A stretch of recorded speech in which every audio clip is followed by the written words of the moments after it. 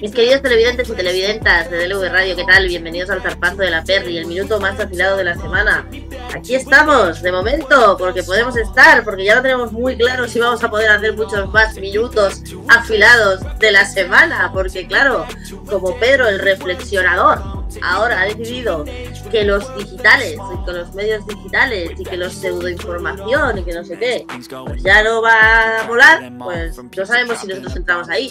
Mi problema es que el otro día, escuchando al presidente, decía, vamos a ir a por las asociaciones que judicialicen temas. Digo, che, porque nosotros tenemos varios, varios asuntos judicializados, entre ellos el que tiene a la delegada de gobierno de Ceuta y a la, y a la vicepresidenta de Ceuta imputadas por un delito de prevaricación continuada que les despide el fiscal 15 años de inhabilitación especial por una denuncia de la escuela, por ejemplo. Pero hoy lo dice, che, somos esos.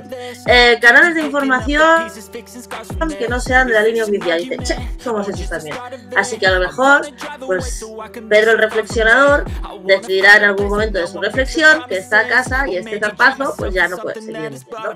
no sé, yo lo que me molesta es, además de todo, es que veo mucha gente que se ha quitado la coraza y que ha dejado salir al dictadorcillo que tiene dentro y va por ahí caminando.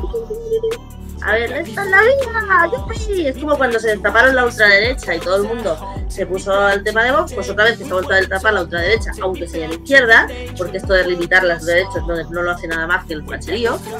Ahora reflexionado, eh, pues se ha destapado. Bueno, aquí estaremos mientras aguantemos. Empezamos.